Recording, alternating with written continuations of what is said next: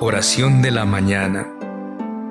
Señor, escucha nuestra oración y concédenos que así como celebramos tu victoria sobre la muerte en la resurrección, así también vivamos según esa fe.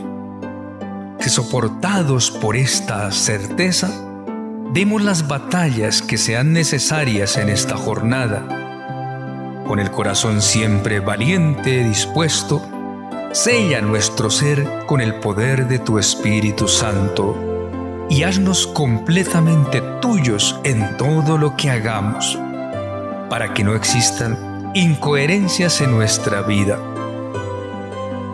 Que tu Espíritu de verdad habite en lo más profundo de nuestro corazón, encienda en nosotros el fuego de tu amor y nos prepare para asumir el discipulado con la transparencia y la radicalidad Bendice nuestro trabajo, llena de tu presencia a nuestra familia, fortalece nuestro ser. Ven Señor y quédate con nosotros.